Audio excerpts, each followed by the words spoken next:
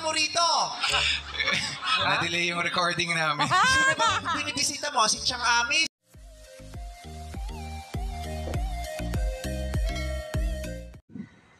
Kung ganitong pa naman ati girl at hindi nakakagulat na may dumadalaw sa showtime.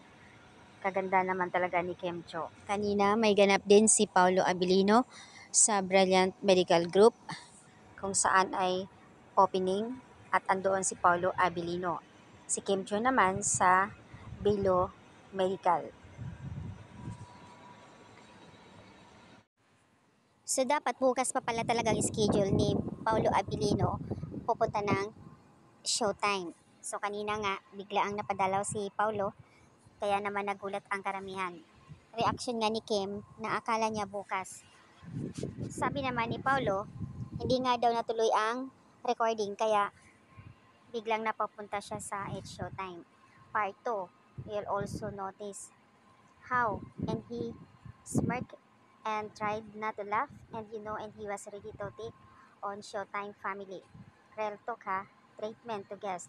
And the way they smoothly said and he just want to be loved, whatever they have, let's give to Kimi.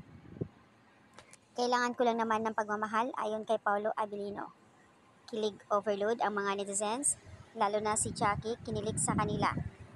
And also Vice Ganda, napakaganda ng trait sa kanya. Kim, asikasuhin mo itong bisita. All the way support naman ang mga co-host ng H Showtime. Ang ganda ng treatment sa kanya. Talagang bisitang bisita talaga.